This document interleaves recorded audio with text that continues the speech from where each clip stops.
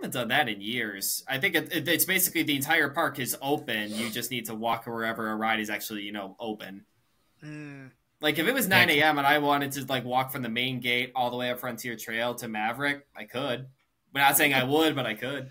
Yeah, that's like because there's usually like a lot, a lot of people lined up at Vengeance like before Yeah. before park open. Right, exactly.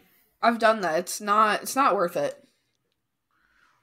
Vengeance in the most hyper hybrids in the morning are just wait. That's Yeah. all I'm gonna say. It's, it's Yeah. slow. Yeah. Especially because, like, hey, now the new toy is the new Dragster, which I, and I might make an argument isn't going to be significantly different morning versus evening. Hypothetically speaking, you're right. They just need to add more juice if it's running slow. It's literally power in, power out with LSMs.